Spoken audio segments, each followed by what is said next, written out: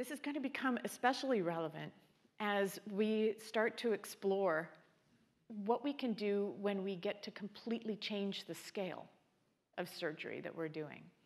And so I mentioned we've got information and we can piggyback on that information and we can look at it, but we've also digitized these movements.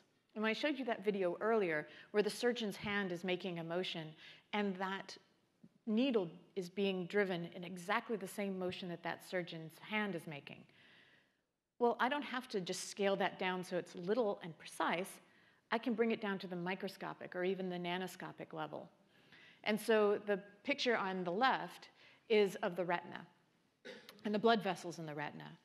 And right now, if you get a shower of clots up into your eye and they lodge in these little blood vessels up in your retina, you'll go blind because we don't really have a whole lot that we can do. Those vessels are about 30 microns in diameter, and the precision of even sort of the best trained surgical hand is about 100 microns.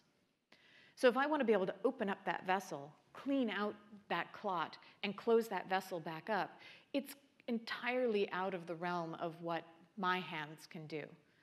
But if I can scale way down, I can start to do therapies that in the past, it wouldn't have made sense to try to develop them because this was the scale that we needed to operate at.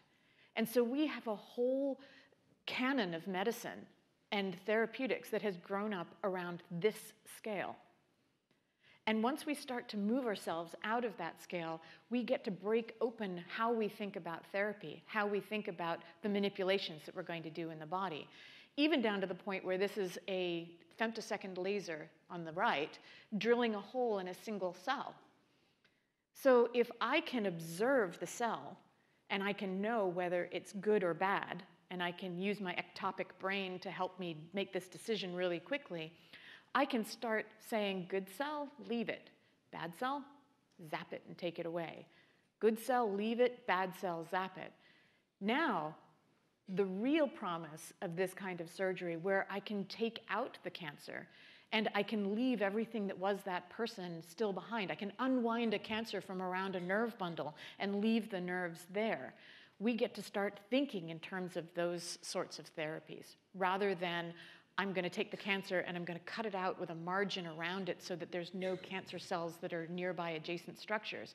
I can instead leave all the healthy tissue behind, truly minimally invasive surgery.